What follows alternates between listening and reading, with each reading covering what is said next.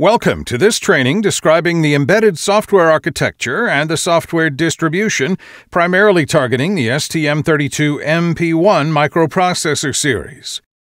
Microcontroller units, so called MCU, are built around MMU-less cores, such as ARM Cortex M, that are very efficient for deterministic operations in a bare metal or real time operating system context. STM32 MCUs embed enough static RAM and flash memory for many applications and can be completed with external memories. Microprocessor units, so called MPU, rely on oh. cores such as ARM Cortex A with a memory management unit to manage virtual memory spaces, opening the door to an efficient support of a rich operating system like Linux. A fast interconnect makes the bridge between the processing unit, high bandwidth peripherals, external memories, and an optional graphical processing unit or GPU.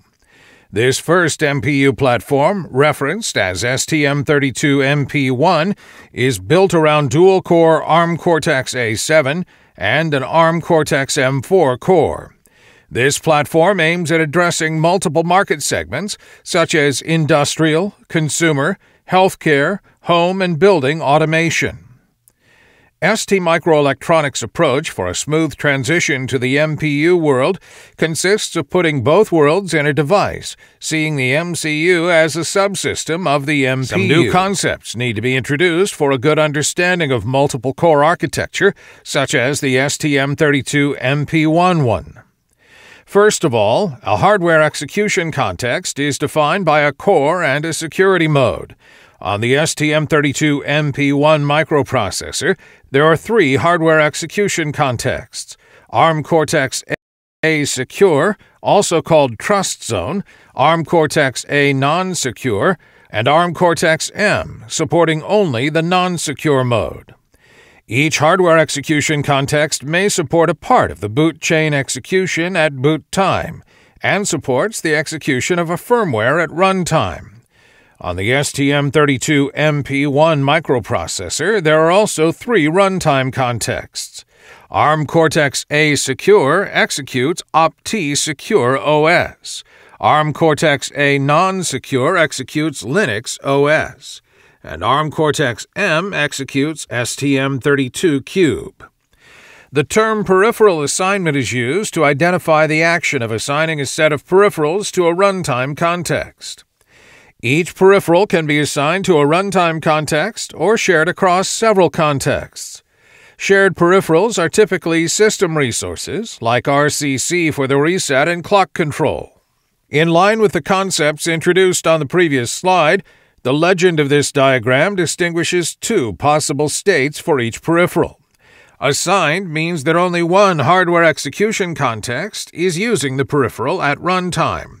A single color box means that the assignment is static, whereas a double or triple color box with vertical separator means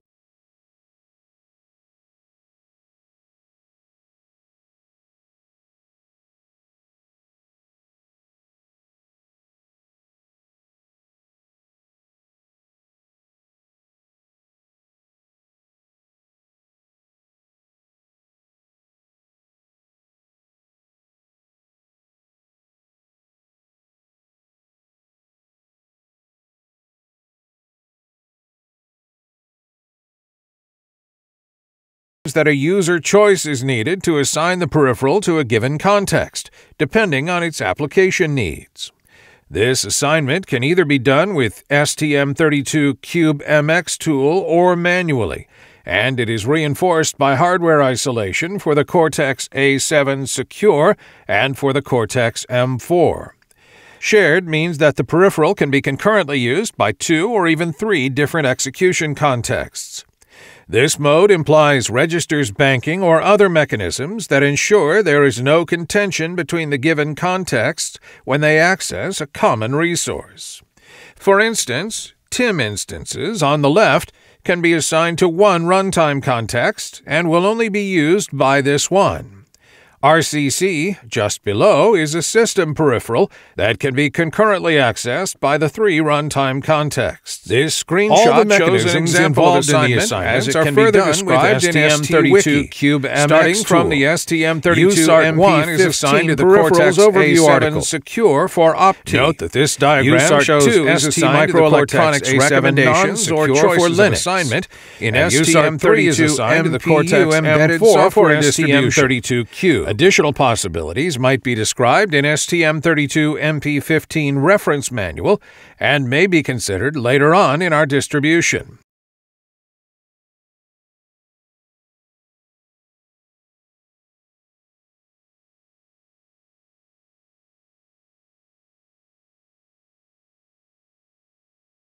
Note the two columns that were never mentioned up to now on the left used for USART 6. The boot ROM column allows the ROM code to be able to boot from this instance. This, this choice slide focuses on possibilities to the ones supported by the ROM code. Since it is connected to the to the ML visibility on the selected peripheral for the bootloader. Listed below the and target in this choice is to limit the size of the device to fetch code generated for the bootloader. In the 0x, the ROM 0, code 0, and the bootloader are presented 0, in the platform 0, 0, to 0x1 FFFF FFFF address range. dbus is used to read or write data in the 0x00000000 to 0x1 FFFF FFF address range.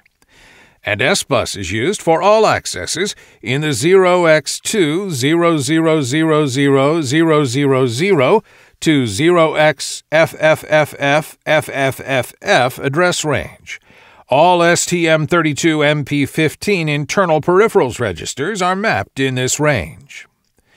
Balancing the Cortex M4 firmware accesses among these ports enables the tuning of the system performances.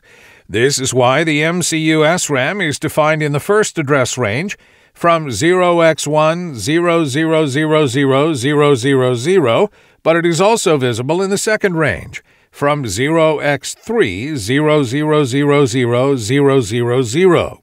For the sake of simplicity, this second range is not shown in the next slides, but keep in mind that it exists. The diagram maps the various RAM and ROM regions on the different execution contexts that use them in STM32 MPU embedded distribution. It is important to notice that the RET-RAM appears twice here, one time on the Cortex A7 non secure side for coprocessor firmware loading, and one time on the Cortex M4 side for coprocessor firmware execution that starts to boot from the 0x00000000 address. This diagram is available on the same ST-Wiki article as the previous one, STM32MP1 RAM mapping. The wiki also gives information on the way each one of those regions is used. This slide shows the RAM banks available on STM32MP1 microprocessors and the typical mapping applied to STM32MPU embedded software distribution. RET-RAM is used by the Cortex M4 to put its vector table plus some code and data. MCU SRAM1 and SRAM2 can be used to put the remaining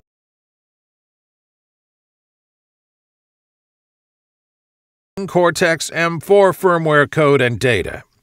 MCU SRAM 3 is typically used to map the interprocess communication buffers that are further described in the coprocessor management training.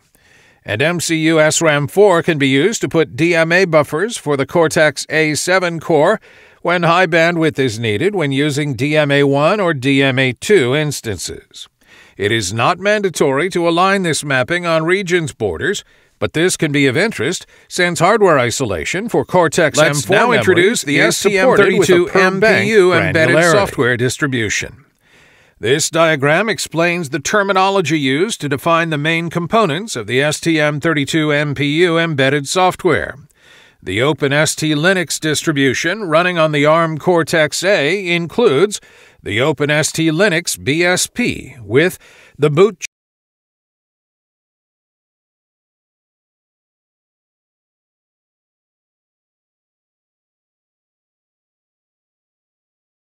chain based on TFA and U-Boot.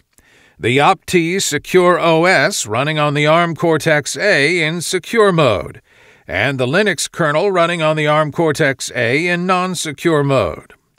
The application frameworks are the middleware relying on the BSP and providing APIs. On the OP-TEE side, to run the trusted applications that allow manipulation of secrets not visible from the Linux and STM32Cube MPU package. And on the Linux side, to run applications that typically interact with the user via a display, a touchscreen, etc. The STM32Cube MPU package is running on the ARM Cortex M. It is based on HAL drivers and the middleware, like other STM32 microcontrollers, completed with coprocessor management. This slide This aims at giving is a very available as a high-level overview of how the Linux Wiki, system is organized, allowing you to in order to easily jump ease into the understanding area of the content and the get more slide. details about it. On the user side, we have applications that usually rely on middleware to invoke the Linux kernel. Linux drivers are not directly exposing their API to the user space. Instead of that, they are registered to frameworks that themselves expose unified APIs to the user space. The framework concept is very important because it ensures that an application working on a stable framework API will also work on a future Linux kernel version and that it can as well work on other platforms implementing other drivers. On the left, you can see that some frameworks may even have some subframeworks. This is, for instance, the case with SD card support, that is a subpart of the MMC framework. This slide shows the STM32MP1 peripheral drivers and their respective Linux frameworks. The frameworks' names are written in lowercase. The peripheral driver names are written in uppercase. The color code indicates the origin of the source code for each component third party, community, or ST Microelectronics. This view is also available in the ST Wiki. The STM32 MPU embedded software distribution is built thanks to the Open Embedded Build framework for embedded Linux platforms. This diagram shows the usual components that are embedded in our distribution. Feel free to explore the ST Wiki and Open Embedded online distribution to customize this setup for your needs.